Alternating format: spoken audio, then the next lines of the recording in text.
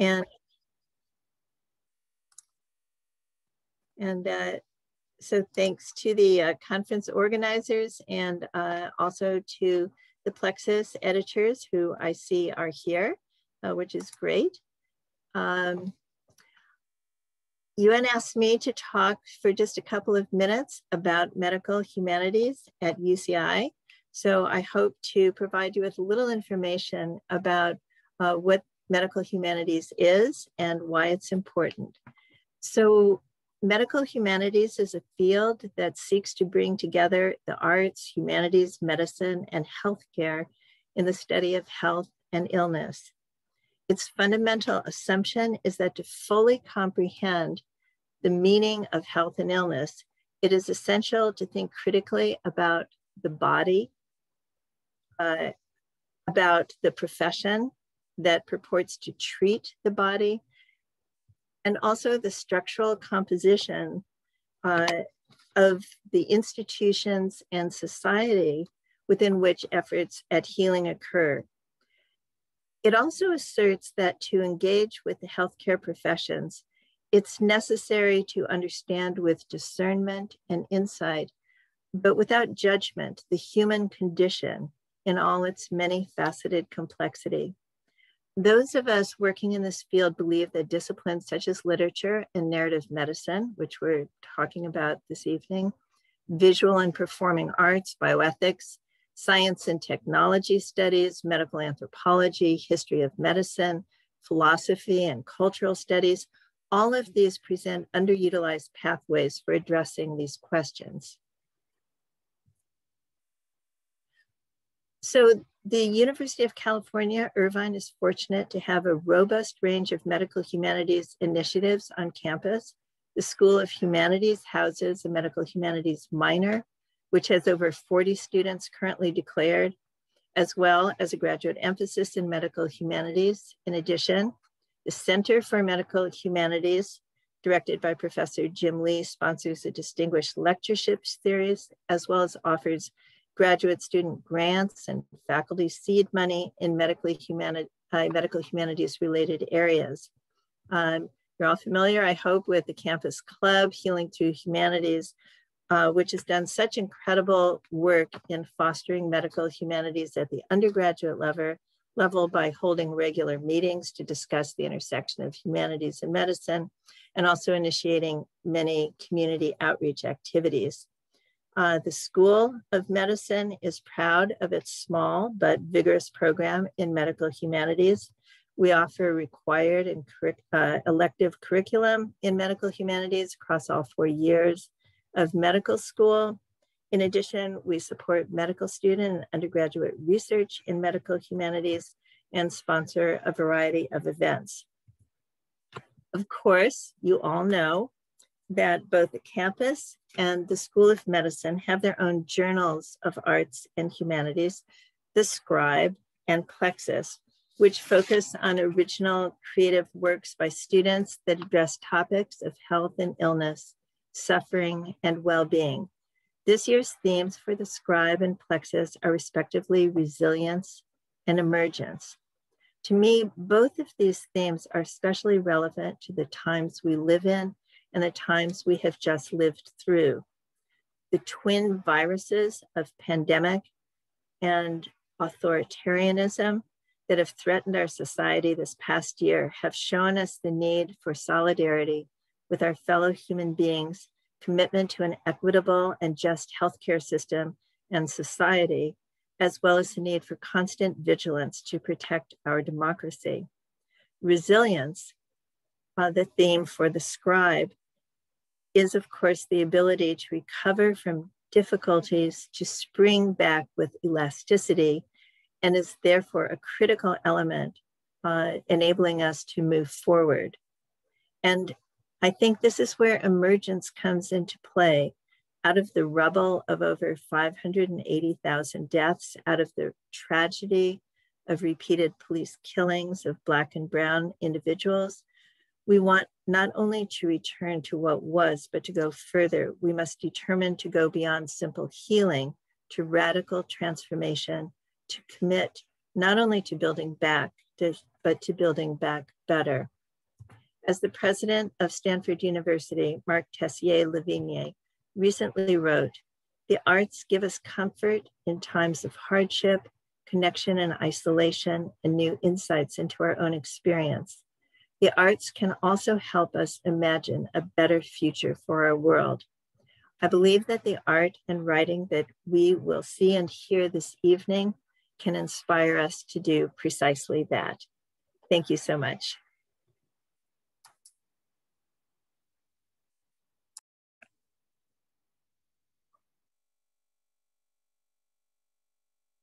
Thank you, Dr. Shapiro. And now hand it off to Dr. Nguyen to say a few words.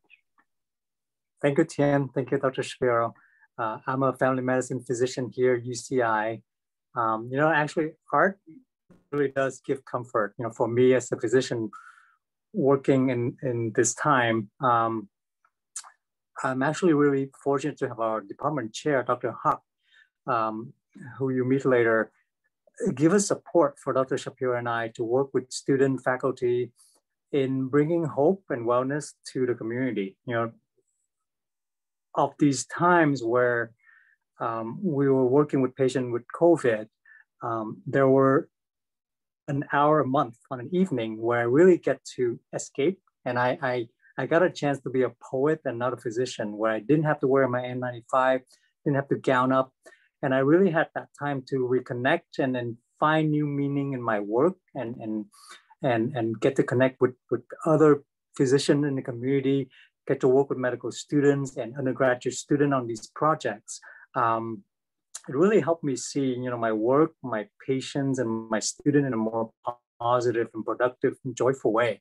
Um, and, and from, from those interactions, um, especially with, with some of these students in, in Plexus and HTH, um, we formed new relationship. We created new project and more research and more findings to, to help the community.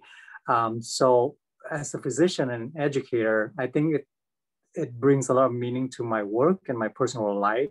And I hope that that can um, be carried on for the young medical students or undergrad students here as well. So thank you for having these wonderful projects. And, and I just love how they work together. Great. Thank you so much to Dr. Nguyen and Dr. Shapiro for their introductions. So I'll also be introducing myself. So my name is Yuan Mai. I am the co-editor-in-chief for the Scribe, and I will also be one of the co-hosts for this event. Uh, Tian, would you also like to introduce yourself? Yeah, definitely. Hi, everyone. My name is Tian, and I'm also one of the co-editor-in-chiefs for the Scribe, and I'll also be co-hosting this event. And would the Plexus uh, leaders also like to introduce themselves? Hi everyone, I'm Ashley. I'm one of the co-editors for Plexus this year, and we're so grateful to Yuan and Tian for planning this symposium and for having us feature tonight. Hi, my name is Kenneth Schmidt. I'm also a one of the co-editors in chief uh, for Plexus, and just like Ashley said, we're very grateful for this event, and um, we really look forward to it.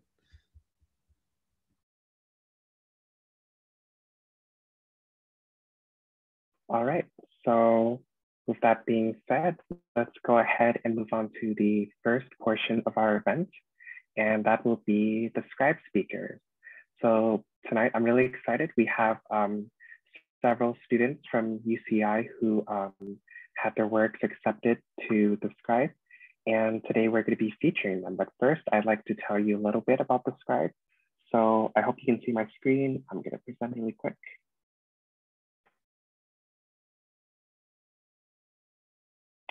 Great. So this is our organization, The Scribe, and we are a medical humanities publication at UCI.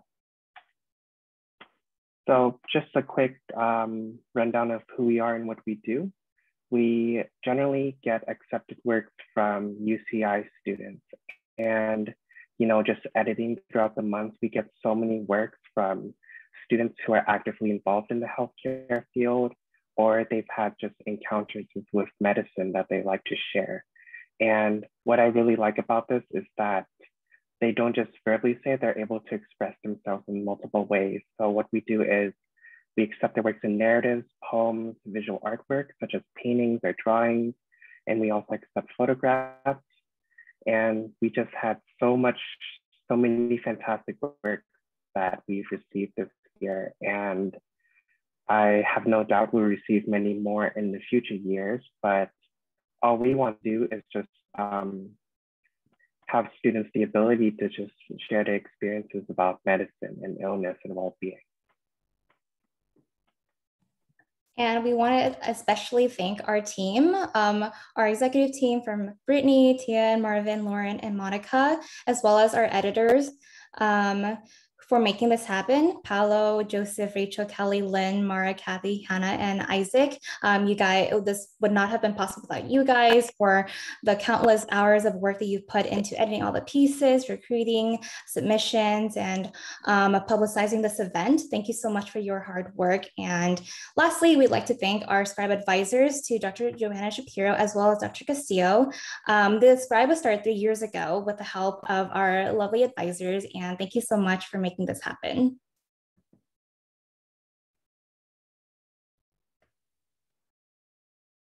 Oh, and, and yes. as on a on, yeah on a final note, these are all the works that have um, have been accepted to the scribe this year, and these are all really fantastic works. Um, if I could, I would show all of them, but you know, just due to time restraints, we will be having six speakers today, six wonderful speakers, and that's that's it. Yeah, let's transition to the scribe speakers.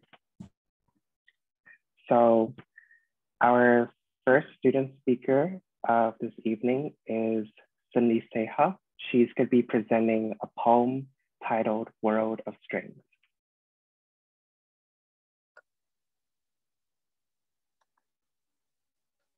Hi everyone, so I'm Cindy Zeha. I'll be reading World of Strings today. It's a little bit long, so bear with me. World of Strings. There once was a young girl, her given name Holly. She had the sweetest demeanor, always so happy and jolly. But how could she not be in her cheerful world? All around there were strings, long and short, straight and curled. But what are these strings? she one day inquired. They're so cheerful and beautiful, a true sight to admire. There are pink ones and blue ones and orange ones too. There are striped ones and dotted, and ones colored like goo. But what are these strings, is what I want to know. All the grown-ups have them, and I'm yet to grow. I'd like purple ones for myself, if I may. Purple's my favorite. I'll wear them day after day. Hush now, my child, and I'll tell you the story. The strings aren't for children, so you might find it boring. Boring? Oh, bother, how could that ever be? Just look at them dancing in the wind with such glee. Look at your strings, mother, how gaily they sway. I'd like some of my own. How much more can I say? Look in this window, my dear, and what do you see? The baker, no doubt. No one is happy as he. He needs and he pulls at he needs and he pulls at his dough with delight, a smile on his face, always happy and bright. Yes, I know, dear mother, a happy baker he is, the most pleasant baker, the title is his. But what of these strings? Please do not stray. I'd quite like some strings. Let's keep distractions at bay. Look closer, my girl. Look at his strings. See how they drop as far down as his knees? Yes, he has long strings. Of this all are aware. He has the large, he has the longest in town. He looks near to a bear. See how they pull on his limbs as he bakes, directing his movements, creating his cakes? See how they pull his cheeks back in a smile, forcing an expression not done in a while. I hadn't noticed this, mother. What do you mean? The movements aren't his, but rather the strings? The man hasn't baked or even smiled in years. His truest expression is that of swallowed back tears. Holly stayed quiet, her mind lost in thought. Confused and distressed, her head now felt hot. But what of the strings? Why won't they let him move? The strings are what guide him. It's he who disprove. How long has it been since he really moved last? Upwards of ten years, since his darling wife passed. Holly's eyes watered, her heartstrings gave a twang. A lump formed in her throat, her limbs seemed to hang. You see, dearest Holly, as one grows with age, life becomes harder, at times feels like a cage. We create strings and sadness as a way to help cope with a world large and troubling, one lacking in hope. Do you see now, my Holly, why you should be glad to lack strings? You're happy and young, one who still laughs and sings. So be not envious of strings of any color, size, or style. Remember that their owners are all tied together with a smile. Mm, part two. With a heavy heart weighing, Holly entered the store. She went straight for the counter, leaving her mom at the door. Excuse me, Mr. Harold, she said to the baker. Your weekly plums pudding on the counter, he answered in a tone miserable enough to break her. No, it's not that, answered she in a rush. I wanted to talk to you about a matter untouched. The baker looked up from his work, although not the quickest, his sorrowful eyes unable to feign any interest. What is it, young miss, that you desire? Another pastry, perhaps? Anything for the buyer? No, Mr. Harold, it's nothing like that. I just want to talk to you and have a nice little chat. See, you've been my baker as long as I can remember. In all my four years, every January through December. I've never quite said it, but I've always believed it. When it comes to best baker, you're the most fit.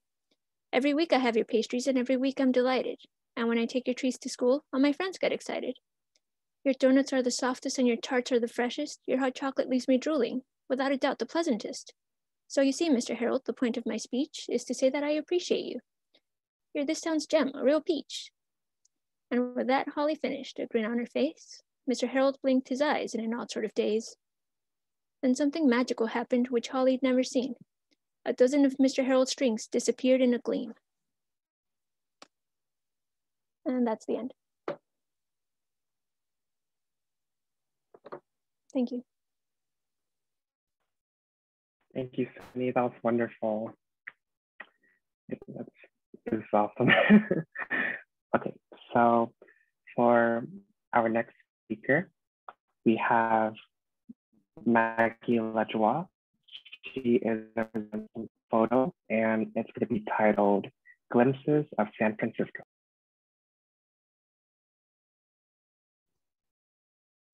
All right, hi. Uh, so I took two photos of different uh, low income neighborhoods within San Francisco, um, both of which represents the strength and resilience of the people that live there. Uh, so I'll just be describing the photos and uh, explaining their, their meaning. Uh, so the first photo was of the Tenderloin district, um, taken soon after the cessation of the George Floyd protests. Uh, and this photo embodies the mourning of the Tenderloin, uh, which, if you didn't know, is a district that is often called the most in need neighborhood of the city, uh, which is mainly home to low income people and people of color. Um, so in, in this photo, there are steamy streets, empty sidewalks, and uh, really beautiful, recently painted murals, uh, which is all that's left from uh, these vibrant protests. And this just represents the resilience of those who live in a poverty ridden district uh, that's adjacent to some of the most wealthiest neighborhoods in the entire country. Uh, and then the next photo is of Chinatown, uh, where the streets are usually full of both natives and tourists uh, shopping at markets, eating at restaurants.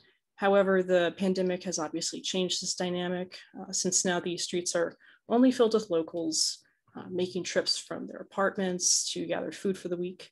Uh, and, and this is because unlike other neighborhoods in San Francisco that are still heavily trafficked by tourists, uh, visitors are completely unseen in a neighborhood of a population that's blamed for the creation of COVID-19.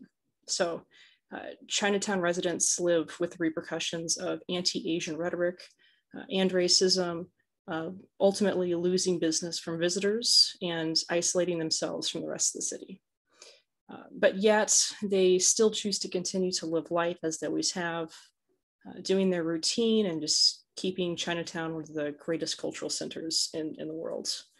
Uh, so if you look at these two photos, you'll, you'll definitely see the Tenderloin and Chinatown have certainly been through a difficult time this year uh, though the residents of these districts have done an impeccable job at surviving both physically and culturally. Thank you.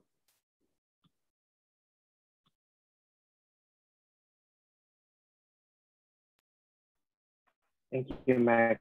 It's a very beautiful. Our next speaker is going to be Kayla Tan Lee. She's going to be reading an excerpt from her narrative and it's titled Don't Catch the Yellow. Hello, everyone. My name is Kayla Lee, and I will be sharing my narrative or an excerpt from my narrative called Don't Catch the Yellow. Don't Catch the Yellow is a narrative that touches upon many different aspects of the current COVID 19 pandemic. Firstly, the ongoing and current Asian American discrimination and how that may cause a rejection of one's own culture. And secondly, the larger discrimination against the Black community through the usage of the model minority. After World War II, Asian Americans were not the main target of discrimination. And so the COVID 19 pandemic hit the Asian American community a lot harder than expected. Mm-hmm. However, we as Asian Americans should recognize how the usage of the model minority has affected other minority groups for too long, we have taken advantage of this status to give us a place within American society.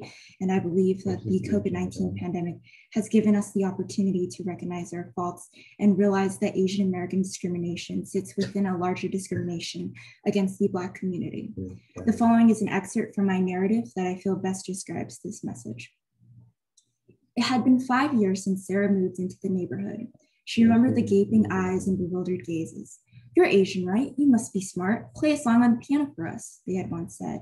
Admittedly, she had indulged in their admiration for her. Neither popular nor an outcast, Sarah settled well into her new community. Being different didn't matter so long as she could take advantage of it. Standing by the kitchen counter with trembling fingers, her eyes wandered over to the vase of sunflowers that her mother had picked from the garden the day before. Normally, she would have enjoyed their lively appearance, but today, something about their obnoxious shades of yellow disgusted her. Golden hues of arrogance and conceited behavior enveloped the ray florets to such an extent that Sarah could no longer suppress herself. What false pride and satisfaction was worth it now that you have been isolated from soil, she wondered. The clock chimed into the next hour as she stood, ridiculed by a surge of harassing thoughts. Why am I like this? There must be something wrong with me. There's something very wrong with me. Her mind pounded in rhythm to the buzzing of her pestering phone like the incessant beating of a bass drum.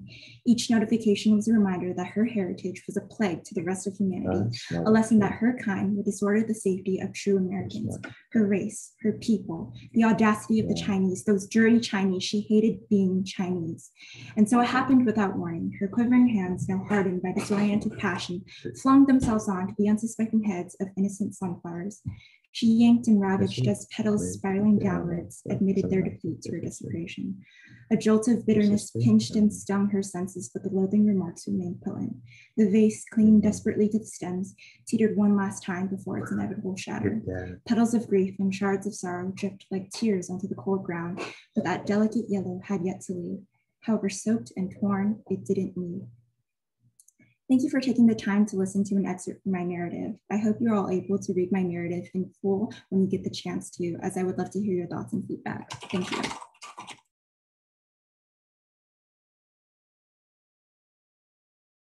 Thank you, Kayla. Our next speaker is going to be presenting a poem. His name is Derek Chang, and he will be presenting when ammo weighs more than human soul.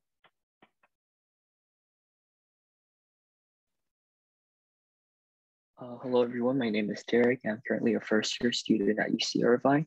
So um, my poem, When Ammo Weighs um, More Than Human Soul, is about the uh, health disparities before, during, and after the COVID-19 pandemic. Um, the pandemic yanked away the cover that the United States healthcare system hides itself, itself in and um, it desperately needs to be fixed, but it's currently um, propped up by duct tape, and uh, we can we have seen a, an um, overt preference at the government level to fund the military-industrial complex rather than the health and well-being of Americans. And out of all the other developed nations, why should we Americans accept this half image of life and fall prey to, uh, to the fear of inevitably succumbing to the system that is supposed to heal? So um, my poem uh, when the title is When Ammo Weighs More Than Human Soul. When ammo weighs more than human soul, its weight in gold funds the devil's toll, who comes at night with a swifting dive, the way he took those who can't afford life. When ammo weighs more than human soul, unleashed is death we can't control, where we could control but we seem to let go, to God's embrace they go. When ammo weighs more than human soul, hospitals replaced with bullet holes. Crowds and crowds would shout and cry while rulers scheme in their Versailles. When ammo weighs more than human soul, who knew life costs nothing more than a battle's fought with grand bankroll to the phalanstery sufferers go. When ammo weighs more than human soul, dreams are replaced and will be their dole, before commanders on the battlefield are valued more than those at heel. When ammo weighs more than human soul, those who suffer are solely pros, accepted a half image of life in this lore, only to be hurt no more. Thank you. That concludes my poem.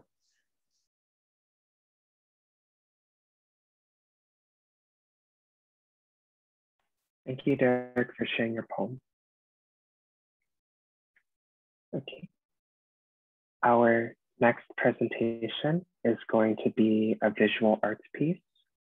Um, so Lauren Cheng will be presenting and she'll be presenting um, a lotus in all of us. Hi, everyone. Um, my name is Lauren Chang, and I'm a fourth year. Um, so this piece was originally inspired in high school by an art assignment to just draw a skeleton. Um, and after coming up with a good composition, I ended up putting my own twist on it. Um, so what I wanted uh, to express is that everyone experiences hardships in life and um, it doesn't matter their social statuses. Uh, and I just want to express something really human that is the shared experience of struggling and staying resilient against different hardships. The inspiration for this piece was my own struggles with mental health during high school. And even when it feels like you're drowning and life keeps kicking you, there's still something inside of us that keeps us moving. Uh, just like the lotus in the skeleton, um, we can grow out of muddy waters and shine brightly whether it's for ourselves, better opportunities, or even other individuals that we care about, uh, the sole act of getting up and walking forward is an accomplishment on its own. Um, yeah, that's all I have to say. Thank you. Thank you, Lauren. And finally, our last presentation for the scribe portion of the event. This is going to be a poem and Lauren Severos will be presenting. She'll be presenting 50 times a day. Hi everyone, my name is Lauren Saberos and um, I wrote 50 times a day and it's a poem that came about when I realized during the height of the pandemic how I was washing my hands so many times over and over again and I wanted to portray the emotions that many people, including myself, were feeling. And I wanted to also capture the reflections of what events could have happened um, had the pandemic not happened and the eventual recovery of what moments have been lost. 50 times a day. I guess you could say I wash my hands 50 times a day. I don't just wash the virus that is ravaging this divided world. I wash anxiety, depression, and the stresses that invade so many minds. I shed away the loneliness that entangles my very life. I rub off the isolation that calluses my skin. I then twist my hands to wash everything once more. The water now ceases, giving me time to reflect on what could have been, what could have occurred, and the growth that has been halted Life is a jumbled knot ready to be unraveled. There's never a clear sign of how much time zooms, stands silently, or even restarts. I lost my entire sense of it. I guess you could say I wash my hands 50 times a day. I put on a mask and head out the door, walking into the arena for battle against the largest threat of our lives. The water flows open again, thus beginning the slow, aching process of healing once more. Thank you.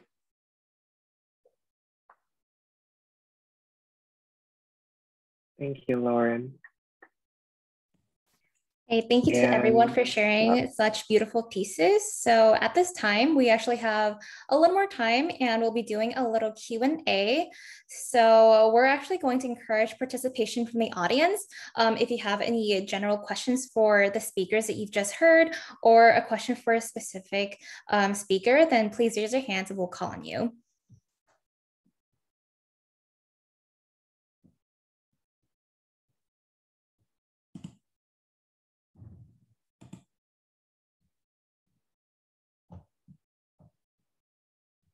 Chloe Lau, you can unmute yourself.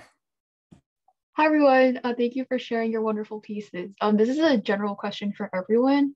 How has your creative process um, in your medium changed from like uh, since being in isolation? Is there anything um, new or perhaps like interesting that you've been doing to keep up your creativity in isolation?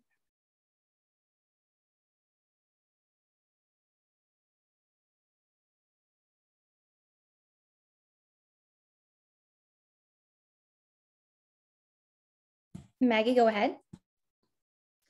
Well, I could say for myself, since I like to take pictures of inner city scenes, I think, I mean, COVID obviously has affected everybody, but it's affected everyone differently. So I was able to capture these really unique scenes that will never happen again.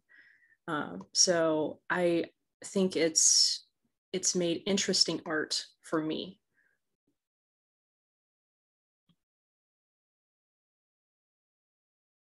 And then if any of the other uh, speakers want to share, just feel free to mute yourself. Derek? Um, I know for me, oh, um, I know for me, um, since, you know, with isolation, I just um, stay in my own room and um, um, besides from doing a lot, like my homework and, and other stuff, um, I basically just write whatever comes into my mind since I have a lot more time, alone alone time to do that. So I would say it definitely it's a it's an external factor that that forces me to write a lot more than I.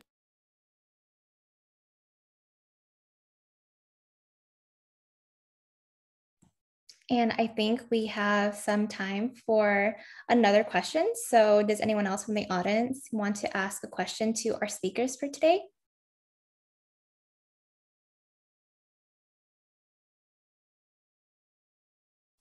I have a question. You and I have a question for any of the speakers who uh, just read or presented their work. And um, I wonder how you see art as an agent of change because sometimes people will say, well, great, what can a poem do? Or what can uh, a mural do about the problems that face us? And so much of your work directly addressed uh, current societal challenges. So I'm wondering how, how you see that connection art and uh, real life effects. Thank you.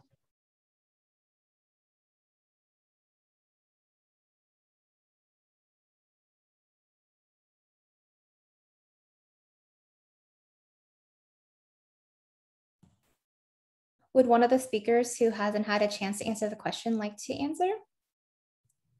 I would like to answer, sorry.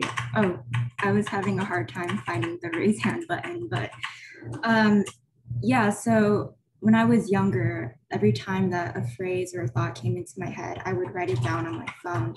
And I never really made the opportunity for myself to put those words together and make a narrative out of it like I had done until I took an Asian American literature class over the summer with UCI and my professor helped me to realize that literature is an agent of movement. And I after taking that class I saw that Asian American discrimination throughout history should be spoken about more in literature. And I took that opportunity to write my own narrative on it um, especially because I had read so many books and novels in that class about um, Asian American discrimination, um, especially with a lot of different ethnicities. And so I felt um, it was important for me to write one that dealt with COVID 19. Um, and yeah, that's my experience with that. All right, I think we have room for one more question from the audience. So would someone like to ask? Alex? Yeah, this is open to all the amazing creators who just presented. Thank you for sharing. But I was wondering how your how your creative process has informed your thinking on the pandemic and its current outcome.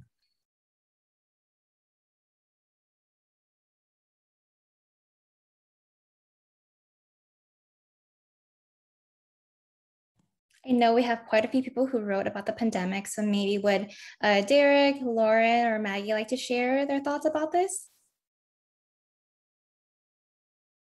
Maggie?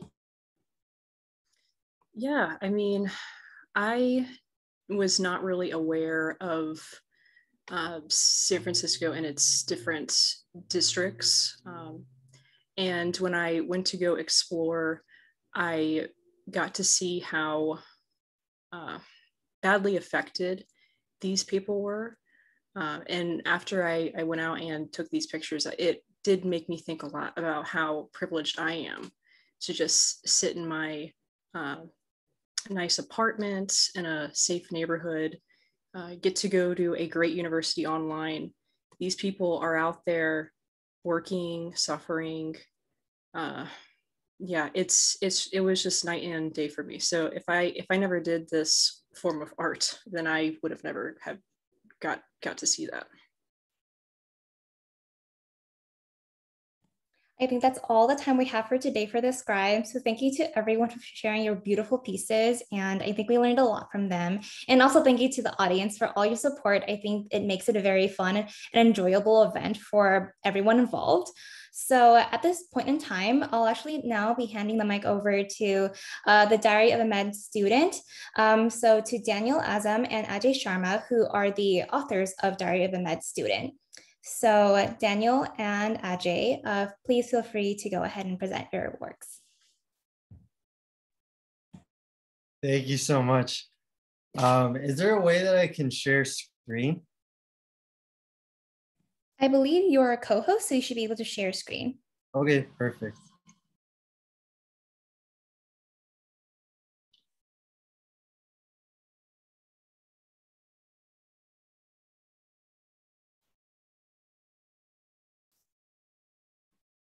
All right.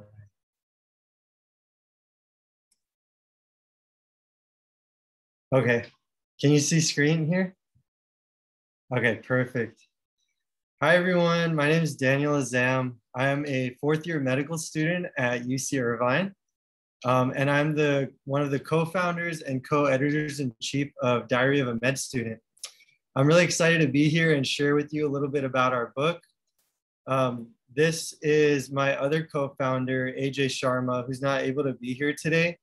Uh, but I'm gonna kind of walk you through how AJ and I came up with the concept of our book and then um, if there's time at the end, I do want to share one of my favorite stories from the book. Um, we're super lucky as well to have Dr. Shapiro here today because she's actually our faculty advisor and also wrote the afterword of our book. Um, so she has a lot of insight as well into the process of why we began this project a couple of years ago. So kind of the background is as somebody else kind of mentioned about mental health earlier today, um, we've been seeing a lot of rising burnout and mental health issues throughout medical training. And there's many different causes for this. Um, is it a lack of self-awareness during medical training? Is it that we're not efficient as medical students at sharing our stories to a broader audience? Is it that we don't have a strong community connection amongst medical students throughout the nation? Um, or is it a lack of a safe space for inner reflection? Maybe it's a combination of all of these different causes. Um, but one thing we know for sure is that we've been seeing statistics for um, a lot of different issues within mental health. For example, among medical schools, the vast majority don't have a required wellness training, even though we know that this type of therapy can cut suicidal thoughts by up to 50%. Um, for doctors, the suicide rate is twice that of the general population. And this sort of dates all the way back, even before medical school. Pre-meds were actually shown to have um, up to 15% of pre-meds meeting depression criteria. And in general, for everybody else in the audience, um, expression of emotions has been shown to reduce vulnerability overall and suicidal ideation. And so a big part of why we created this project is to promote physician wellness. So I'll give you a little bit of the backstory real quick. So a few years ago, AJ and I were roommates in medical school and we had barely begun our third year clinical rotations, which is where you rotate through the hospital and you sort of see patients for the first time. And we were working really long hours um, and we would come home drained, but then our energy would sort of come back and our excitement would come back as soon as we would start telling each other the stories of what happened to us that day. So that sort of became our ritual. Every evening we'd come home and we'd say, Hey, AJ, you're never going to believe what happened to me today. And then we would just share our stories. A lot of times it was something really happy. Sometimes it was a sad story that we experienced. Um, and other times it was just something that was hilarious. Uh, so we sort of started keeping a personal diary, sort of journaling everything that all the stories that happened to us during our training. And then we started sharing those stories with our friends in medical school. And what surprised us is that our friends had so many stories to share with us in return as well. And so that's when we started to dream and sort of think. And I thought, huh, wouldn't that be so cool if we could create a safe space for med students all over the whole country to reflect on our emotions and share them as tales in a diary. And the most important goal for us was to promote physician wellness through reflection and expression of emotions. But then COVID came along, and during the pandemic, people started to experience a lot of isolation. And so, what became really important to us was just showing medical students that we're not alone and that we're all in this together. And so, that's sort of how Diary of a Med Student was born. This is the creative process, real quick, just walking you through how we turned this idea into an actual physical book. So, we started off with creating an editorial board. We put together about 11 editors from schools across the country, both at the medical student and resident physician level. Um, AJ and I served as the editors in chief. And then we basically just opened it up for submissions of stories from all over the country. And we sort of just decided to see what would happen with the project. Um, once we got all the stories, that's when the peer review began. Each story was read by three different editors, and then a final acceptance or rejection decision was made. Um, and then after that was when the editing process began and sort of trying to find a publisher and actually publishing the book. Um, fortunately, the, the book was published um, several months ago, actually last year. And overall, we received 250 stories from um, 61 medical schools across the whole nation. And in the final book, we published 100 stories. This is the distribution. So we got most of the stories were from third years in medical school because that's when you begin your clerkships where you rotate through all the um, the specialties within the hospital. And the first year had a lot of stories as well because that's sort of those first experience um, stories at the beginning of medical school where you're brand new and you're in the anatomy lab and all of the experience of becoming a medical student. And then we did get a good number from the second years and then the fourth years upon graduation. Interestingly, I found that a lot of the stories from the older medical students were more focused on broader sort of life balance type of stories, more of the how can we live a, a good life outside of medicine? How can we have a good relationship with our significant other? and enjoy all of our things that we like to do outside of school. Whereas the younger students were more focused on imposter syndrome and sort of trying to cope with the stresses of studying. Um, we found that the vast majority of, or not the majority, but the most frequent type of story of the four chapters of different emotions was um, Tales of Sorrow.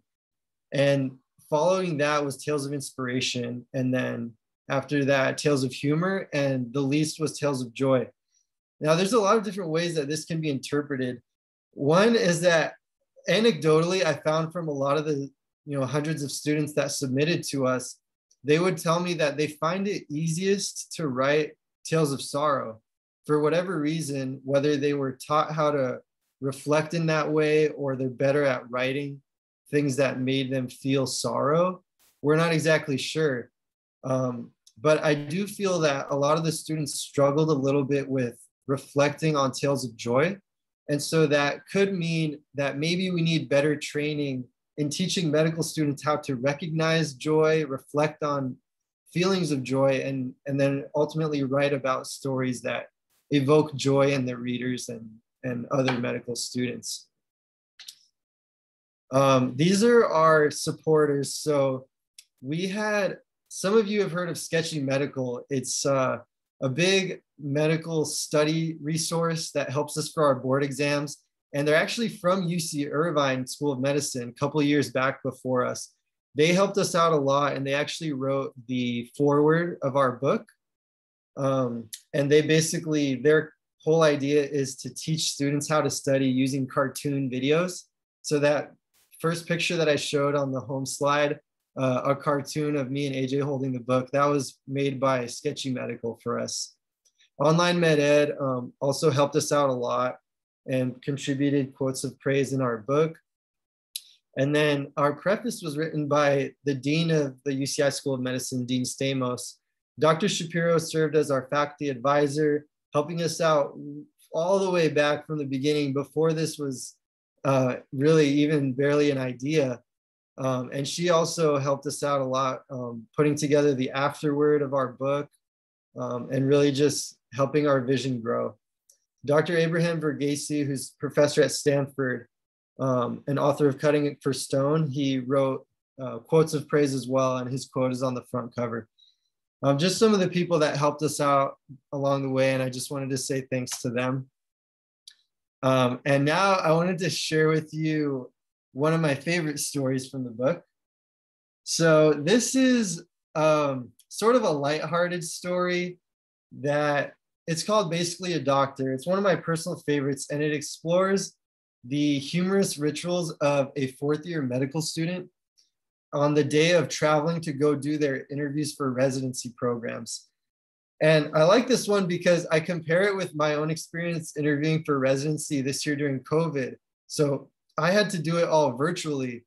And I was sort of feeling, wow, I'm missing out so much by doing all the interviews virtually. I don't get to see the programs, I don't get a good feel.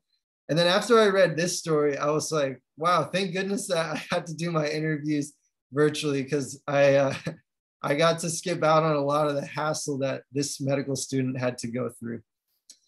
So I'll just read this story um, for everybody. The fourth and final year of medical school is a bizarre time. From the outsider's perspective, it's the culmination of four whole years. You should basically be a doctor, right? Well, between residency and graduation, interview season hits. In these interview filled months, I went on 23 interviews, spent 100% of my mom's Southwest points that she collected over the last decade, gained 10% of my body weight at interview dinners, and lost 99% of my knowledge I ever gained in medical school. You get off the plane, you struggle a bit to get your carry on suitcase out of the overhead bin because fourth year medical students never risk checking their suit. And you do an awkward jog to the nearest airport bathroom. You try to shimmy off the Lululemon leggings that your sister, who went to grad school for exactly three years to become a lawyer, but makes more money than the rest of the doctors in your family combined, bought you while trying to trying not to let your bare feet touch the nasty airport bathroom floor. You shake the wrinkles out of the familiar outfit that you wear to basically every pre-interview social, and you give it a sniff to make sure it smells okay, even though there's no alternative if it stinks. You spray some dry shampoo and switch out your Adidas for Steve, some Steve Madden. Stuff your stuff back into your bulging bag that contains supplies supposed to last at least six interviews. You jog to the passenger pickup area of the airport and see if Lyft or Uber is cheaper right now. Usually Lyft. You get in it.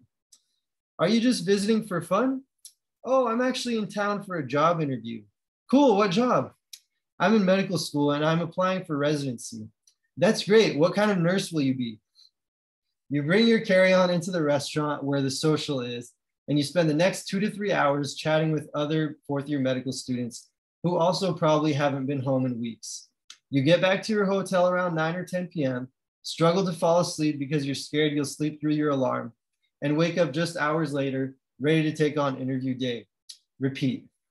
Welcome to MS4. You're basically a doctor so that was one of one of the stories I really liked, um, and I've shared that with so many so so many of my classmates who interviewed virtually this year, and they all had a similar re- reaction to me, and just I feel like it's a really unifying experience. Um, just something that everybody has to go through in medical school, um, and it's it's sort of comforting to see that we all go through the same thing.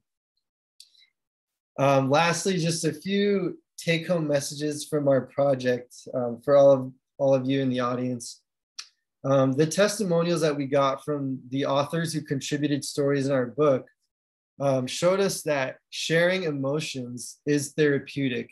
And also, reading others' stories, whether you wrote one or not yourself, is something that's very unifying and therapeutic as well. Some of the common themes that we saw for medical students in today's training mostly for the first and second years, they experience a lot of what we call imposter syndrome. That's sort of the feeling that I don't fit in, I don't belong here, um, which is really interesting because if if every student feels like everyone's better than me, I'm an imposter, I don't belong here, then that, that, that doesn't really make sense. So it's not until we all read those stories about other classmates going through the same thing that we realize that, hey, we're all if we we're not all imposters, we all belong here. Um, we saw a lot of stories about inequality, um, dealing with sociopolitical issues such as race, um, and then things having to do with the elections and things like that. There was a lot of stories about the challenges of COVID-19, dealing with seeing patients with you're wearing a mask or seeing them over a virtual uh, history and physical um, a lot of stories about isolation as well. And then just, you know, the typical things about being a student, the stress of exams, always being evaluated by your, um, your attending physicians who are grading you. And then some of the older medical students reflecting on work-life balance a little bit more. Some suggestions we have for medical education in the future is to have a dedicated wellness training within the curriculum and we hope that physician wellness will one day be considered one of the core qualities of a physician. Um, reflection sessions are something that's really important as well. We had one at our medical school called an open mic, where we basically passed around a microphone and we got to share our own stories in front of our classmates. Um, a, a space for sharing stories, a safe space is really important. At UCI, we're lucky because we have Plexus, and that's an annual publication where students can reflect and express themselves through art and other, other types of styles. And we think that every school should have something like Plexus. Um, and we're trying to uh, promote that idea and sort of get them involved and encourage that through Diary of a Med Student as well. And then lastly, just sort of resilience days where students can take care of anything that's important in their life. Um, the last thing I want to say is that our book is available for anybody who's interested on Amazon and Barnes & Noble. Our website is here, diaryofamedstudent.com. And what we're most proud of about our whole project is that 100% of our proceeds are donated to our scholarship fund for incoming and current medical students. So we've actually been able to sell already about 1,300 copies of the book. And all of that is going towards the scholarship fund. And so we're, we're hoping to launch that within the next year or so and open it up to keep the, the mission alive for the future years to come. Thank you so much to uh, the Plexus and the Scribe for having us today. Thank you again to Dr. Shapiro, and thanks everyone for listening. Thank you so much to Daniel for sharing your story and about Diary of a Med Student. Just to let everyone know, um, um, don't forget to fill out the Google form because we are giving out up to five copies of Diary of a Med Student. So if you want to read it too, then make sure to fill out the Google form and you'll be entered into the raffle. And all you have to do is just attend this event and fill out the form. That's it. All right, so at this point in time, we'll be featuring our next guest speaker, uh, Dr. Ama Wray. So Dr. Ama Wray is an associate professor of dance the university, at the University of California, Irvine. And as the founder of Embodiology, Dr. Wray's creative work has always been inspired by improvisation. It is at the heart of JazzXchange and at the foundation of all her multidisciplinary collaborations with composers, dancers, playwrights, technologists, filmmakers, educators, and scientists. And along her artistic works on the stage, Dr. Wray has pioneered teaching methods that are guided in deep learning, community building, and self-realization. And the global pandemic, while raising fear and anxiety in many, was a catalyst for Dr. Wray to build community with vigor and heart. So today, Dr. Wray will be leaving a brief mindfulness activity for our attendees and also share her thoughts on incorporating mindfulness practices in the context of resilience. Uh, Dr. Wray, um, whenever you're ready, then please feel free to uh, present your work. Hello and good evening to everyone. I am very happy to be with you today. And in fact, I was just working on a new iteration of the work that began during this pandemic space. I was in Florida at the time when the pandemic hit. I was on a sabbatical actually. And I was isolated because I wasn't with family. I was between conferences and traveling out of the country. And I was actually on a residency in a in a setting for artists that are involved in in sort of deep dive in terms of their inquiry. So I was in a very remote place. And in the midst in the midst of all this, I felt this kind of anxiety growing around me, internationally, um, locally, although I wasn't actually in, in, in counsel with, with anyone locally. I, I felt this um, need to do something that wasn't the panic.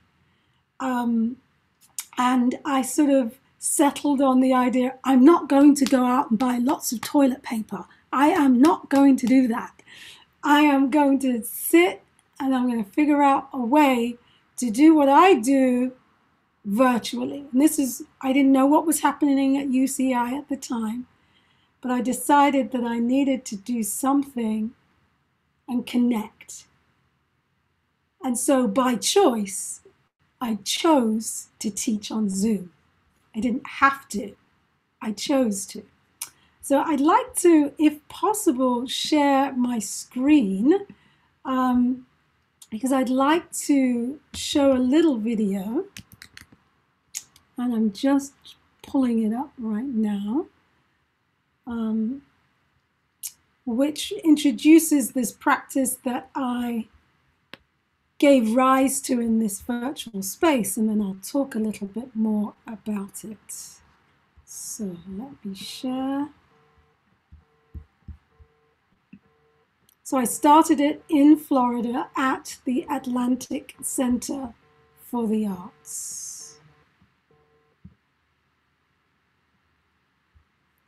And I'm going to press play and go to full screen.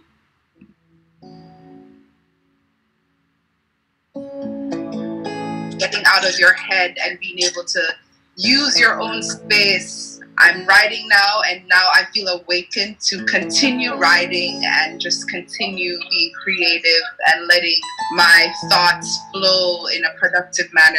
And even when I'm not on this call, I can exercise what we just did. It was nice to be in a free space again. I've mm. forgotten the, the, the, the you know the, the nice vibes that you get from just being able to move it, at your own pace, in your own way. However, it was it was quite liberating. As it went on, I realized that what I was trying to do was undo anxiety. There was just a lot of anxiety, and I'm in touch with it, and you know, soothing and opening and grounding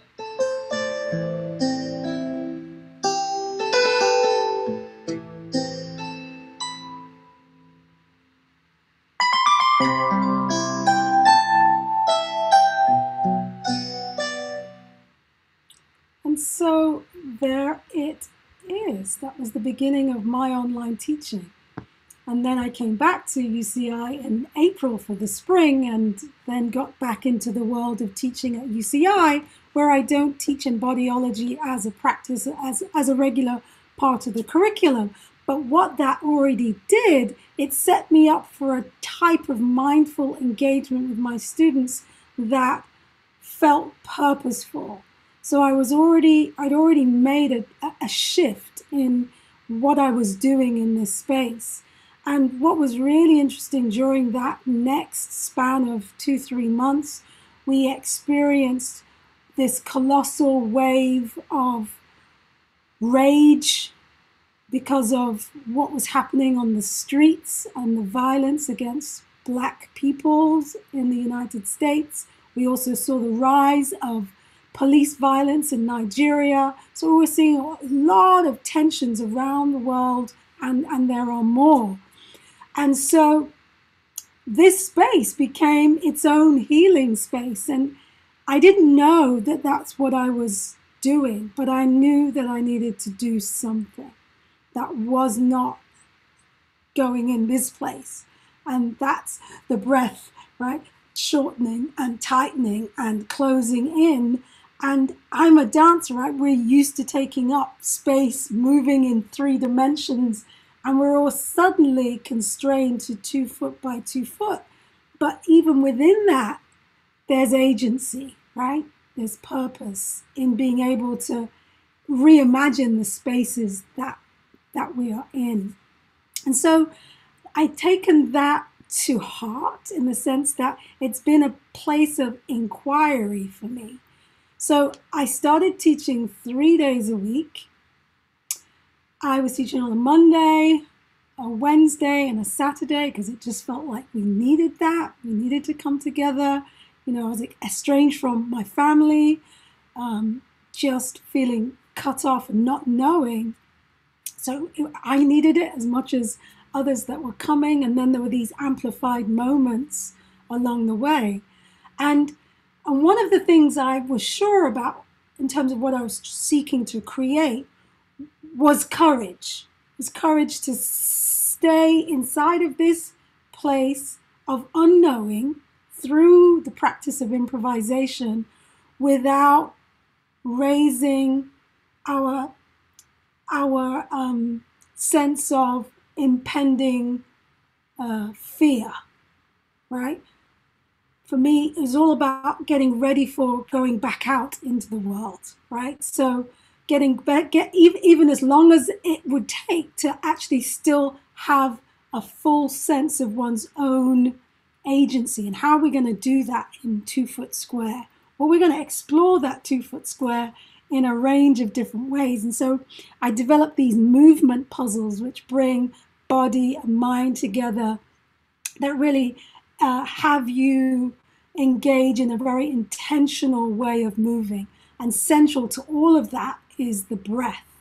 And so we do a lot of um, mindful work in terms of body scanning and connection. So I'm just going to give you a little example of that if, you, if you'd like to participate just for a minute or two. So I'm imagining that you're seated and uh, you can close your eyes if you'd like because uh, we don't really need to see the screen unless you need to see my lips moving. And I want you to place a hand on your abdominal area and just feel your breath expanding from as low down in this pelvic area as you possibly can. And then I'd like you to consider releasing your jaw.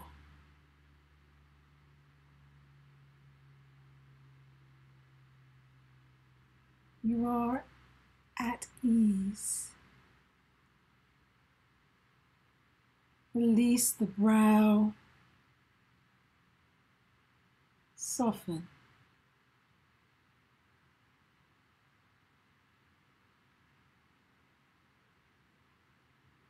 Oh, I'd like you just to bring a little awareness to the surfaces of your body that meets a support, be it the chair, be it the floor.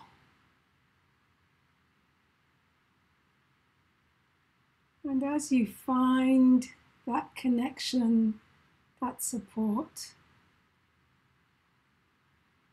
allow that relaxation, that softening to be supported by that cycle of your breath, which is now likely slowing down and more generous.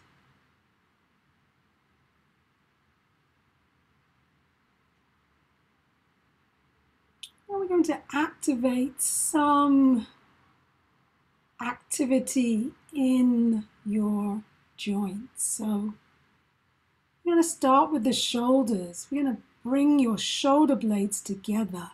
So if you, as if you wanted to create a river between your shoulder blades. So we're creating a, a pathway and then release those shoulders. Release them, breathe out. Let that relaxation go into the floor. Softening. Relax the jaw. Release the tongue.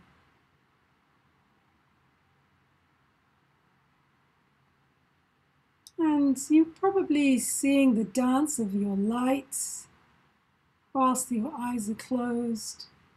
And again, even explore the possibility of not following that light, but rather following your breath.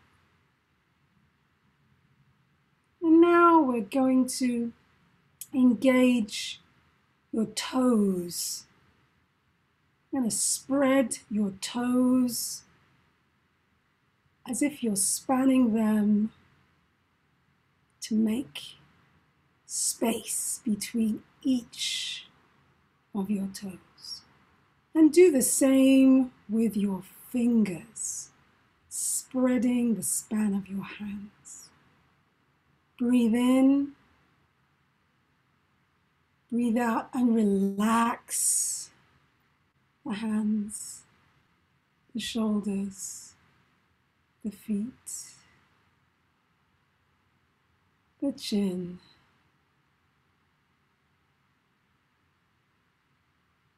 And just slowly bring your awareness back to the space. See what is directly in front of you make a cognitive connection by naming it. So I'm looking at a bookcase. So as I'm looking, I name it. And then I'm going to turn my gaze and I'm going to look somewhere else and I'm going to name what I see. And then change your gaze again, name it in your mind, and then change it again. And then come back to neutral. Okay, we're going to do all those four points again. You named it, you know where you went. Let's go on that journey again. So this is a little movement puzzle. So you've got point one, you've got point two, you've got point three, you've got point four. You've got one, you've got two, you've got three, you've got four. You've got one, really see it, name it two, name it three, name it four. Now, instead of your eyes, you're going to replace your eyes with your hand. Here we go. Extending in the direction of where you were looking. Name it. And then the other direction. Two. And. Three. And. Four. Again. One. And. Two. And. Three. And. Four. Again. One, look at it, see, are you making that cognitive connection and are you breathing? And four. Okay, now we're going to reverse. Four, three, two, one. Use the other hand. Four, three, two, one. Okay, so one arm's going to do, go in the forwards direction and the other arm is going to reverse. Let's go. And one. Yes, Johanna. Two and three and four. And again, one and two. Breathe now. Three. That's it, Rhonda. There you go. Joy in motion. You have made it. Well done. Okay, so these are the kinds of cognitive puzzles that we work on. Sometimes they're rhythmically based, sometimes they're uh, dynamically um, based on other concepts. So it could be language, it could be shape, it could be a piece of um, clothing. So we have a whole space which is a, what I um, call social skin.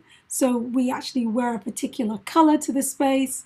Yes, and remembering to breathe is a major part of this work because that is where your agency comes back, right? Because when we're not breathing, we're like, oh, panic! I'm in that panic space. And that's normal. It's normal because you're putting you're putting a cognitive load and you're doing something that you're not used to doing. COVID has been all about that, right? We've been in one giant improvisation.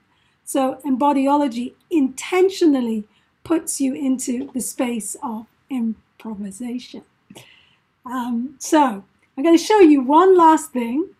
Whilst we were in this COVID moment, there was an amazing opportunity that came about because of the relationship that this work has to uh, a community in West Africa, in Ghana, which is where the research continues to be centered as I bring this work forwards.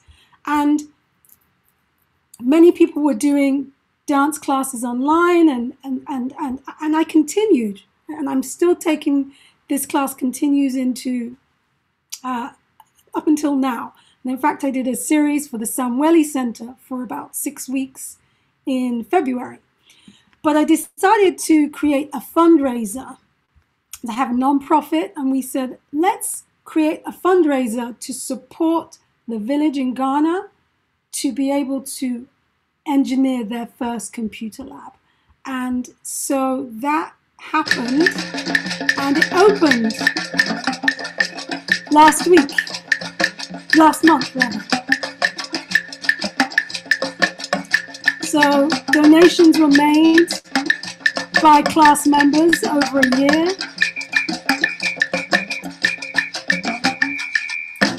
And this, this community is a rich community in terms of its cultural capital. This is where I learn, and this is what I translate into what you've just done. So they are purveyors of performance and ritual and airway knowledge, indigenous knowledge. And so now the children at the school have their first computer lab and so it's super exciting that what began as anxiety, not knowing what to do, has turned into this international community building space that will continue. So, in spite of COVID, with COVID, without COVID, my online classes will continue because it has built community, a different community than I was teaching before. Before, I was mostly concerned with artists, and now the world has diametrically changed in terms of who this work is reaching.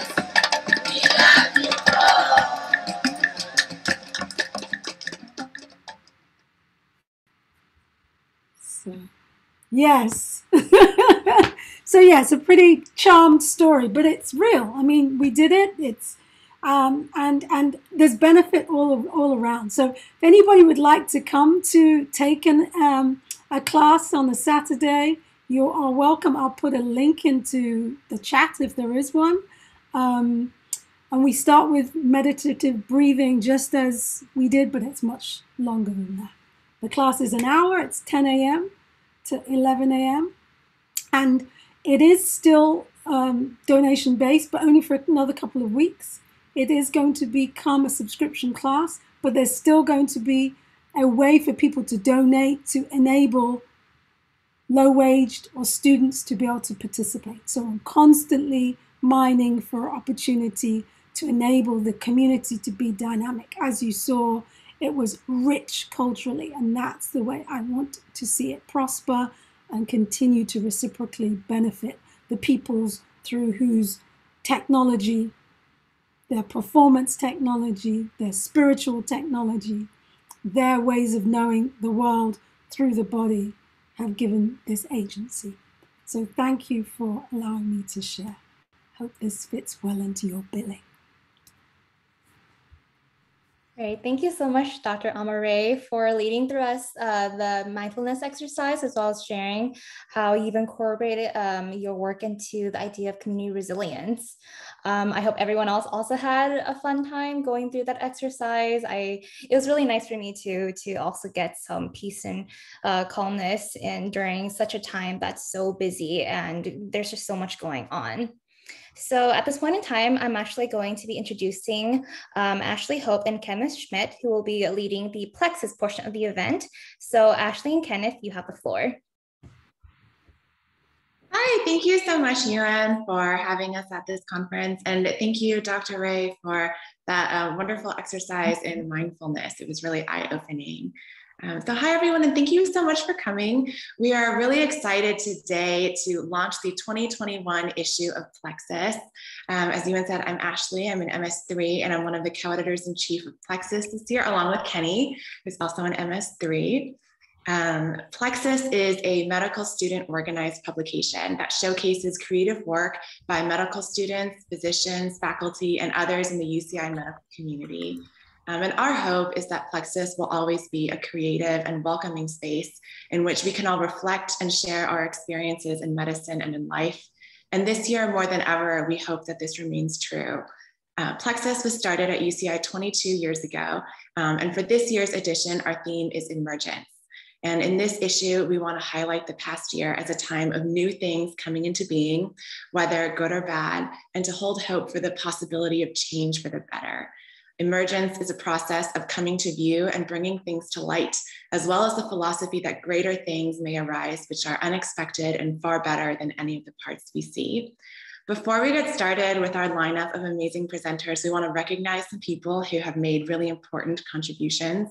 So this is the first year that Plexus has had a team of MS1 associate editors, and we're so lucky to have them. Um, we have Erin, Selena, Kathleen, Kelsey, and Ria.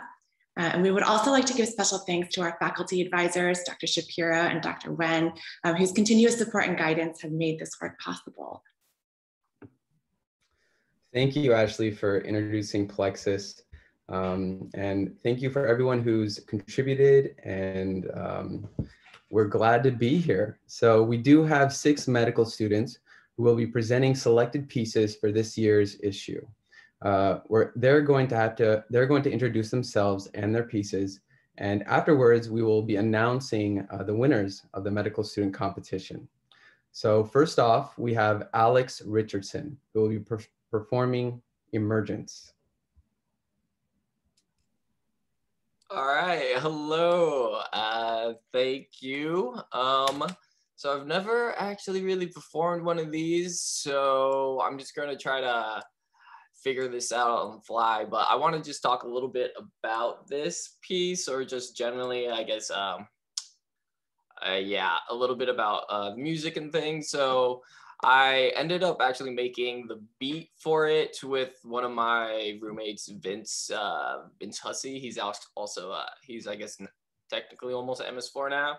So and then um, then I saw I was just gonna submit the beat, but then I kind of want to do something in terms of like I don't really write lyrics much, so I kind of want to try to figure out like get a little practice and write something real quick for uh, uh, to see what I could do, and then put it all together in like a little uh, basically production, and then just basically do some practice. So I am not fully sure how to do get the in terms of audio doing live and everything. So I was mainly gonna play the piece for you guys and then I'll have the kind of um I'll just share the lyrics and stuff, and then I guess I'll be I'll just try to like wrap over it in terms of video wise, so you have a little bit of something to watch, I guess. But all right, let me figure out. Let me see. In terms of audio, um, share. I'm sorry. Let's see. Share screen. So if I share screen, I think I should share and sound. Here we go. All right. Um, let's see. Can you still hear me? Yes. Um, can you hear the audio coming out? Can you hear anything here? No, I don't think we're hearing anything at the moment. When you want to share sound, when you're sharing your screen, you need to check the box in the bottom left corner that says share sound. I did. It told me something about installing something, and so I'm trying to do that. So, uh, yeah, it's not currently letting me. It says it should be sharing sound. Can you hear anything now? No, I don't hear anything. All right. Um, let me see. I guess I'll just actually, if I don't share this, I can just play the thing through the speakers, and it's a little, little ghetto, unfortunately. But let's see if I can get this working. All right. Um, sorry about all the technical difficulties, but yeah, it's not playing right now. Shoot. Alex, if you want, you and I can hop off and do like a quick sound check and let others present. I want to make sure that your piece is presented the way that you want it to be presented. Yeah, that'd be perfect. Okay, all right. Sorry about We'll all be that. back later. No worries. Sounds good. Uh, we'll let you uh, kind of do what you need to do. And then uh, the next person coming up is Melinda Lem, and she will be presenting uh, a written piece called A Caution. Hi, everyone. Thank you for coming. Um, so my name is Melinda. I'm finishing up third year. There's two weeks to go. So fourth year is around the corner. So um, I, a little bit about me. I was born and raised in San Francisco in the city, and not outside in the city. So I have a very unique experience um, just seeing all the changes uh, throughout the city throughout the years. Um, and then I went to Cornell for undergrad, came back to California, um, and took a few years off before medical school working in a stage four cancer clinic. Um, so that paired with my uh, experience of being a daughter of a minister has been very influential in how um, I see the world, how I see medicine, and what humanity means to me. Um, so a lot of the work I have is basically just reflections of how, um, or or how terrifying the creeping feeling of burning out is when you're going through clinical training, um, and and hopefully that is portrayed through this piece. Um, so I think it's going to be shared. Uh, the the screen is going to be shared on someone else's computer. I think it was supposed to be Ashley's.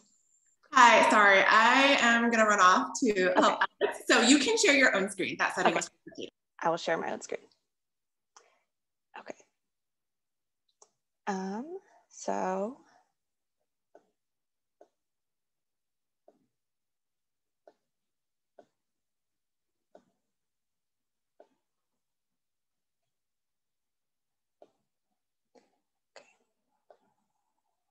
Okay. So um, this piece is called A Caution. Um, so, what used to be the careful listing of childhood trauma became the rush for alcohol withdrawal symptoms and the most recent CIWA score. What used to be Asking about grandchildren and hobbies became asking about 24 hours, I's and O's, pain, and getting out of bed. What used to be an hour of time with a patient became 30 minutes, then 15, then the desire for it to take five. What used to be an empathetic or empathic presence became an automatic set of questions in a preset worksheet format. What used to take three hours on a detailed life story became a discharge note and a stranger hours later. What used to be fresh excitement and novelty became a standard routine and a hope to leaving early. What used to be the best part of medicine became the part I at times dreaded. What used to be humanity became the slow bleeding thereof. What used to be, that won't happen to me, became a caution. Thank you. Thank you, Melinda. That was a beautiful piece. Thank you for sharing that with us. Next, we have Paula Mendoza, and this will be the piece Sarcoma. Hello, I'm Paula. I'm a, oh well, my dog decided to just pop up in the screen. um, I'm an MS3. I was born and raised in Inglewood, California. I'm a daughter of an immigrant, single parent household, and um, kind of just my upbringing and the things that I've personally have gone through in my experiences really actually helped me connect with a lot of patients during this third year. And so this piece is called Sarcoma, and let me see if I can. And I wrote some of these two pieces um, that I sent to the um, Plexus during my pediatrics rotation, actually. Um, some of the things that I saw and some things that happened were kind of really dark sometimes. And um, in peds, I feel like kids bring so much joy and light, um, but a lot of things happen. so let's see if I can figure out how to do this. Okay. Oh, someone did it for me. Great. I think. Yes. Okay. so um, sarcoma. And then uh, also the, the way I wrote this is this is kind of a medical student going in to see a patient. So, good morning. Let's look at your neck. Here we are, probing at it again. It's not EBV or CMV. One, two, three, cats. I know what this could be, Bartonella. Negative, unfortunately. We try antibiotics. You're looking all right. How's school? It's all online. That's the part about COVID you really seem to like because even at the hospital, you can't fall behind. You do your homework, you play your games, you smile all of the time. Anyone says your name. I wish it wasn't true that this could have been infectious. You're only 12. Your name starts with an S, but I wish your diagnosis didn't sarcoma. And so this is like a real thing that happened, and it was kind of unfortunate um, for the patient, but um, it was it really brought us together. I think that's it. Thank you, Paula. Thank you for sharing uh, your experience. Um, and the next uh, presenter is Alex Wang, and they will be presenting the piece Fight or Flight. Hey everyone, my name is Alex. I'm a fourth year medical student currently taking a year off to pursue an MBA. Um, so later on next year, I'll be applying into psychiatry. And just a little more about the background behind this piece. Um, the title is Fight or Flight. So during my third year rotations, right around March, we were all taken off rotations because of COVID. And then in May, my first rotation back was actually OB-GYN. And so this was my first week back on OB-GYN just coming off of COVID when patients are not allowed to be in the, or like patient families are not allowed to be in the hospital. And it's just only the patient themselves. Um, so that's the background for this story.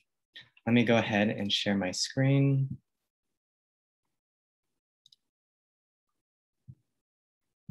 Okay, perfect. It's 3 a.m. I'm slowly drifting to sleep before suddenly my phone begins to beep. My resident calls me over to sit as her neighbor and assist with the nulliparous mother in stage two of labor. I count out loud during each contraction and encourage the patient to push with decisive action. The delivery period is expected to be lengthy, so my resident leaves to ensure that other patients are safe and healthy. 15, 30, 45 minutes tick on down. Soon the baby's head begins to crown. The nurse urgently pages for the physician. All the while, the baby's head moves forward in position. Only a medical student and one nurse in sight. The adrenaline kicks in, fight or flight. I quickly gown up and place my gloves on as the patient continues to scream, Come on!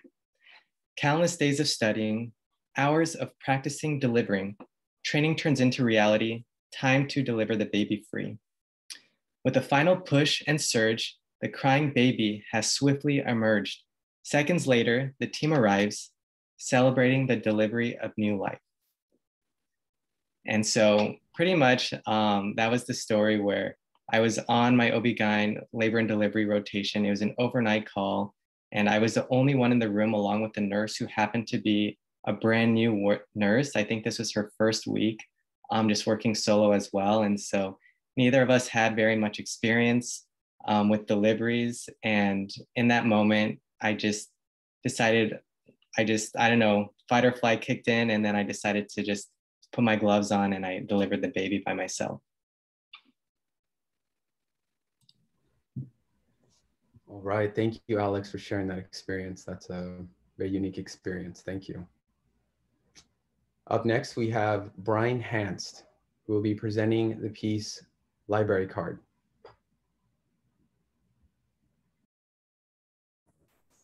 Hi, everybody. Can you hear me? Yeah, yes. we can hear you, Brian. Thank you. Okay, so uh, I'm Brian. I am an MS2 heading on to MS3. Let me just make sure. I think this is it. I think that's it, right? Yeah. So yeah, so I I wrote this while um, you know, thinking about my mom. Oh yeah, this is a new computer. I kind of like have trouble seeing stuff when I like do this. So let's see. Hopefully this, hopefully this works. Sorry, I'm gonna. I have to stop the share. I'm sorry. I can't. uh I can't see anything when, when I do that. I have to, this is a new computer. I have to work the kink out, but let me see if I can, um, oh, thank you so much. Thank you very much. Okay. So let me, let me go ahead. Um, this is called library card. Bleeding time is much less graphic than real bleeding, but it still instills fright. I wonder sometimes how much time there truly is. Who notices that it's gone when we steal it?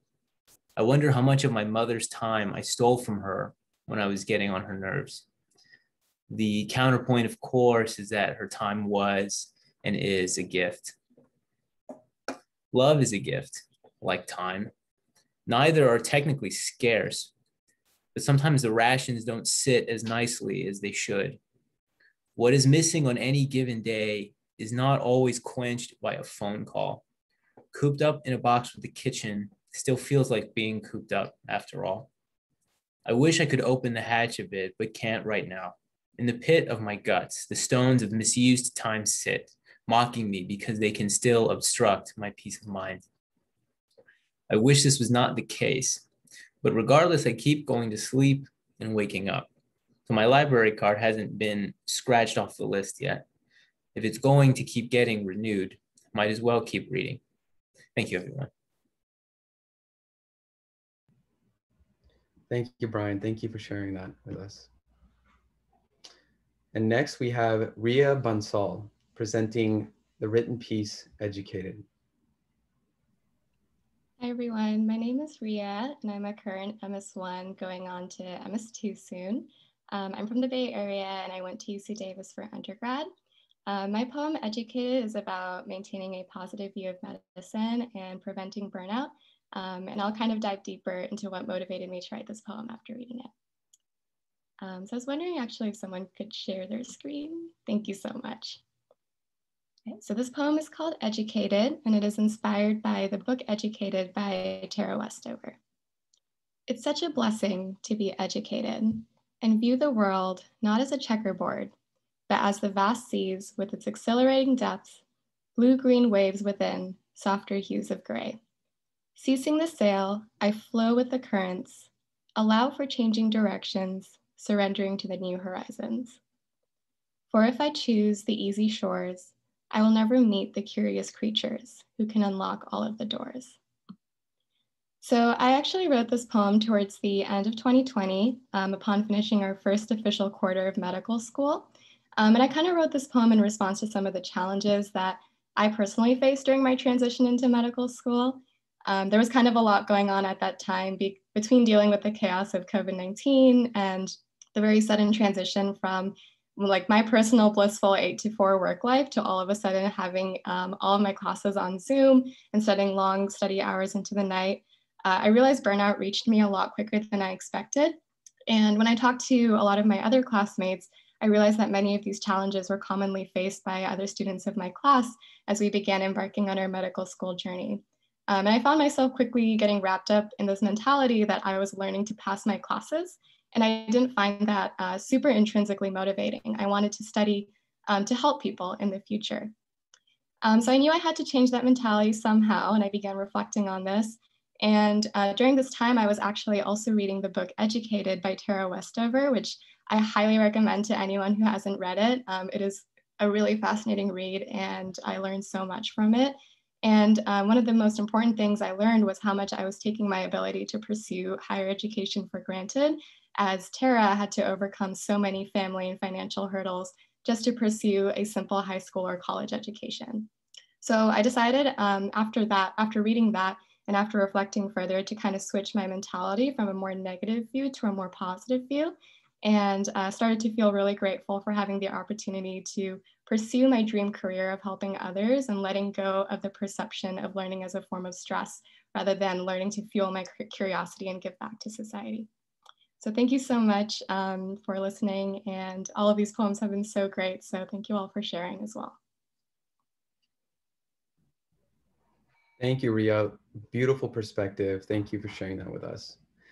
We wanted to now um, come back to Alex. It seems like um, we have a solution in terms of the sound, and he will be performing his piece called Emergence.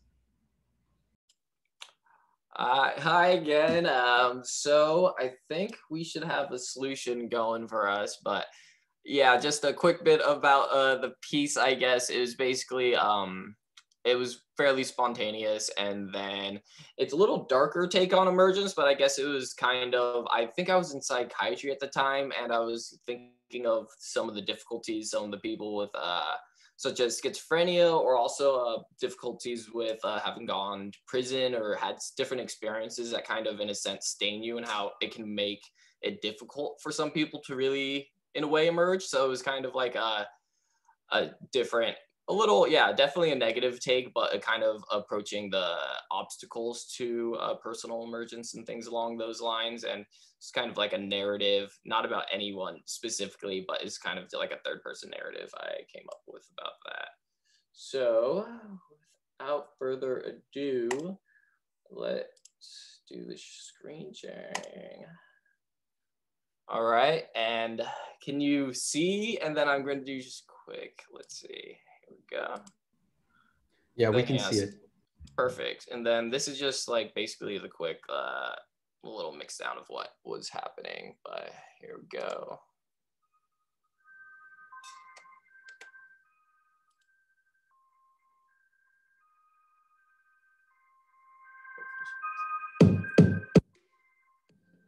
Dragging his feet. Is it even halfway through the week? Just falling asleep, needing to eat, barely even able to speak. All of the dreams on the concrete, disabling things. Not really getting the notion. He could barely understand the puddle, let alone the ocean. Down Downhill sloping, avalanche motion, rubble under the collapse. Suddenly into the relapse, he felt the oncoming attack. Psycho repeats, back to sleep.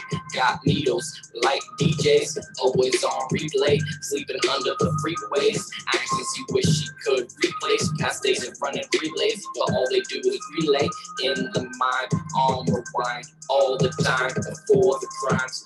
In a better day, wondering how to just press replay. Gotta harvest a fresh crop, but no, it's not easy. A simple plan, a move to execute. Will seem futile, cause what's the use? Eyes the hunger proof to give him an excuse to continue climbing the Escher with all of his effort. But under the pressure, he finds his head hurt.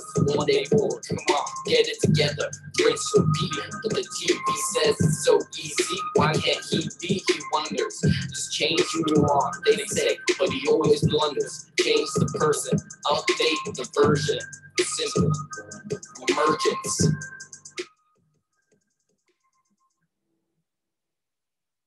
I hope you guys could hear that, but uh, yeah, that was basically that was a little rundown of it. But uh, thank you. I was never performed anything, so first for me.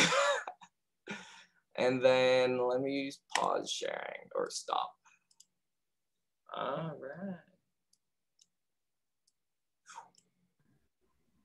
All right. Thank you, Alex. That was that was great. Thank you so much for sharing that with us. So um, something we wanted to share right now is every year Plexus holds a competition uh, for notable pieces submitted by medical students, and we will now be announcing this year's winners. And those who win, you will be receiving an email from us uh, later next week to claim your prize. So without further ado, um, in the visual category, uh, the winning pieces are Breaking Wave by Tammy Tran and Bloom Plume Bloom by Don Liang. For the written category, uh, the winning pieces are Dragonfly in Amber by Bethlehem Tesfaye and A Little Soda for Thought by Anna Cardall. And for the performing category, the winning pieces are Emergence by Alex Richardson and On My Way Remix by Harrison Lamb. Thank you guys for uh, submitting and um, thank you for all the creative works that were expressed today um, in this uh, conference slash Zoom call. All right, thank you so much everyone for coming and for everyone who contributed to this year's edition of Plexus. Um, and congratulations again to the winners. Um, we just published this year's edition to the website, which I am going to put in the chat. Um, so if you want to go browse our issue, it's available online. Um, and at the end of the symposium, um, as Yuan said, there will be a virtual gallery showcasing the work from this year's journal, and we highly suggest browsing it. Um, we hope that you enjoy this year's journal and that you'll submit for next year's journal as well. Um, and that concludes the Plexus portion of this virtual symposium. Thank you so much, everyone.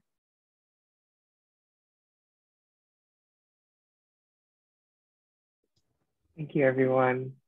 And for our final guest speaker of tonight, it will be Dr. Huck. So Dr. Huck is a clinical professor and chair of family medicine. And for this last portion of the event, she'll be speaking about resilience and emergence in health and medicine. So Dr. Huck, take it away. Thank you so much. And uh, let me first start out with a big congratulations to the organizers, everyone who submitted and planned for this extraordinary event. It was just simply remarkable.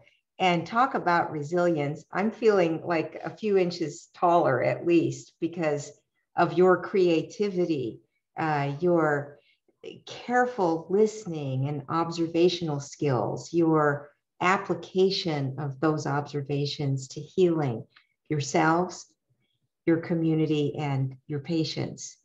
So, thank you so much for that just wonderful lineup of creative efforts. Uh, many of these just blew me away, to be honest. So, I'll be thinking about them and absorbing the messages for many, many days to come. Um, I, I just want to recognize the courage it takes to not only create something new and special on your own, but also then to share it with a public audience. And uh, again, thank you because you've inspired and encouraged all the rest of us. So starting with that.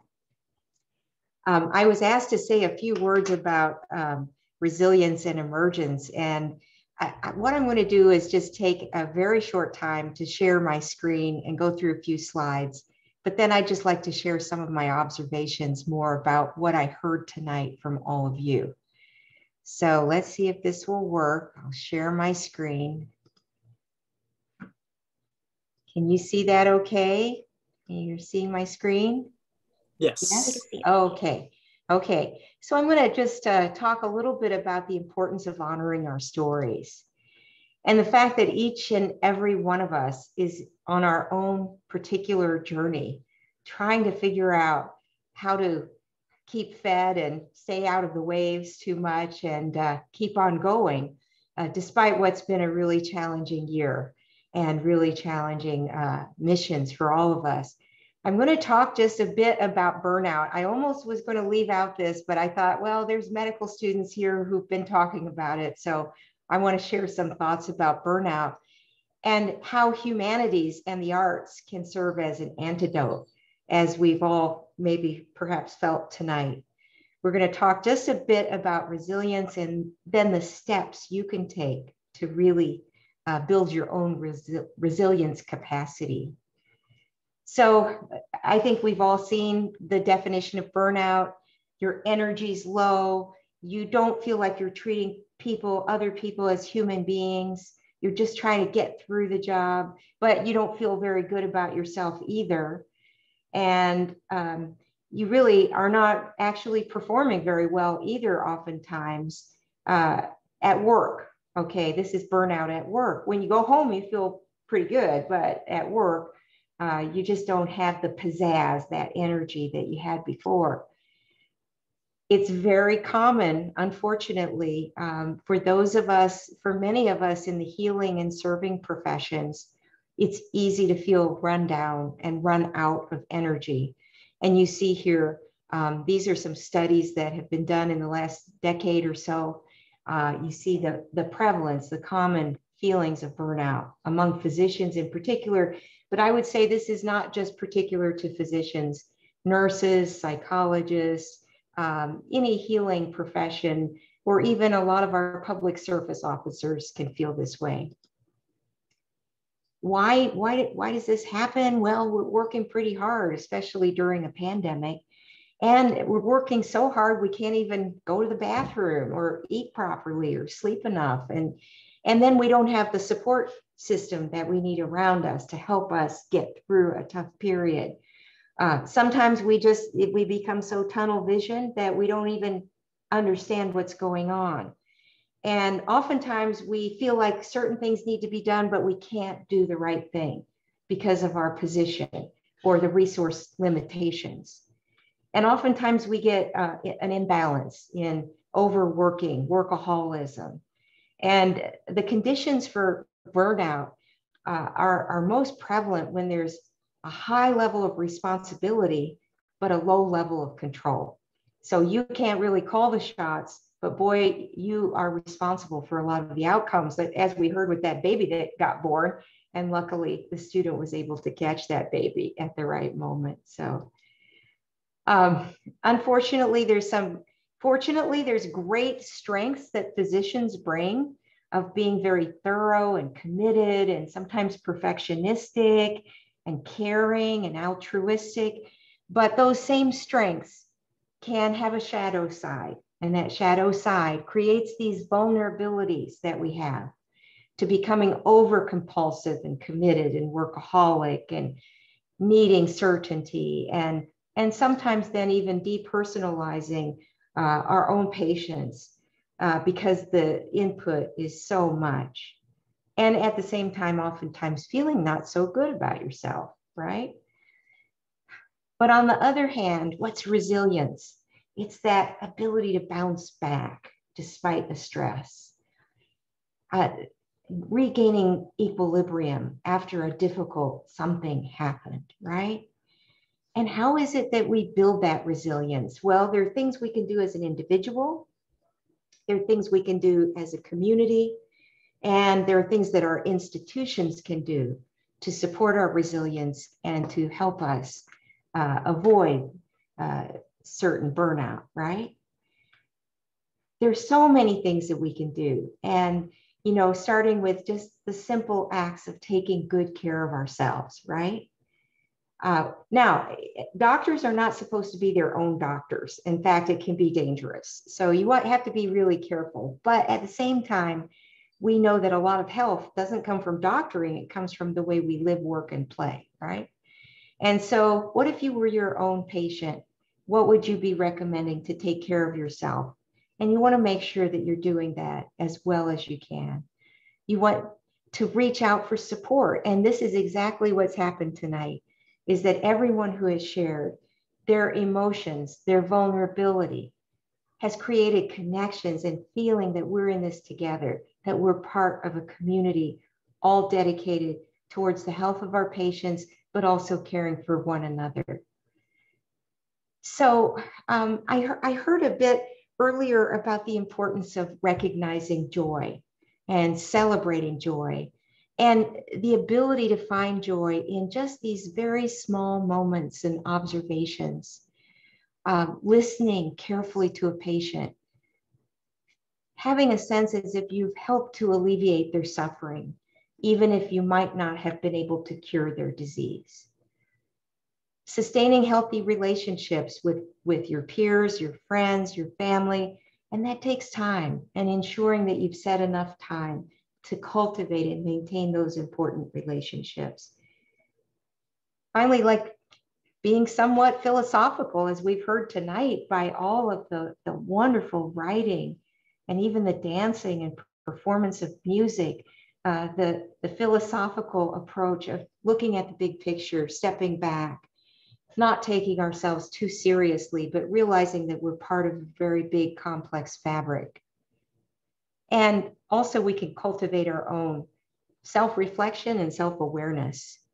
And I just couldn't resist sharing what part of what keeps me going, my family, my beautiful uh, four children and now five grandchildren. The, the, fifth is missing from this photo, but uh, I'm so proud and uh, happy to have a family nearby that can help support me through tough times.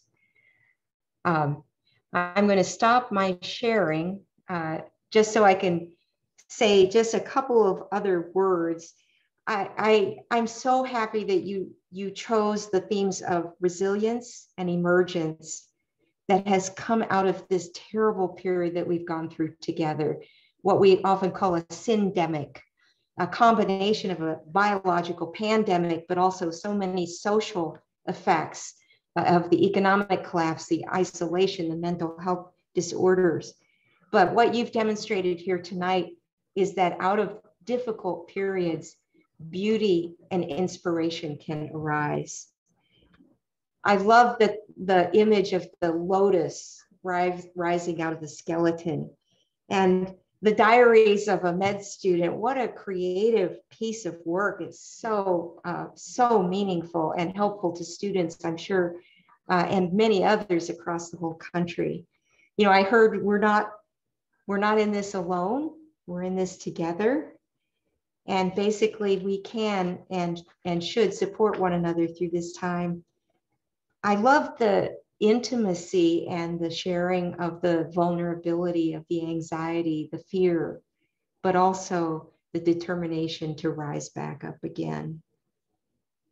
The fight or flight and the birth of a newborn, uh, the emergence really of a new time when uh, we have students and young people like you who are able to speak the truth and to see the flaws in our system, to see the many challenges that lie ahead for you and your careers and really facing healthcare in the United States and beyond. We have so many challenges ahead, but tonight has given me inspiration and hope that our future is in good hands of the next generation with the creative work uh, of students like you. So thank you so much for letting me uh, join you tonight and for commenting.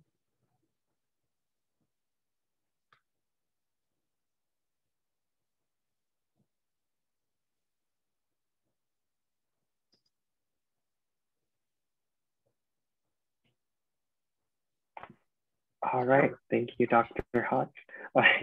so that's it. That concludes our event.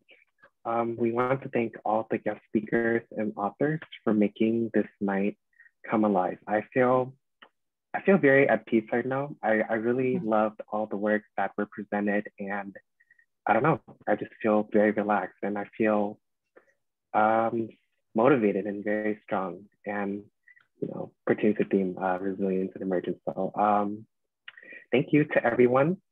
And as a final thing of our event, Yuan will now be dropping a link in the chat to our um, virtual gallery. But um, before that, uh, Yuan has some words to say.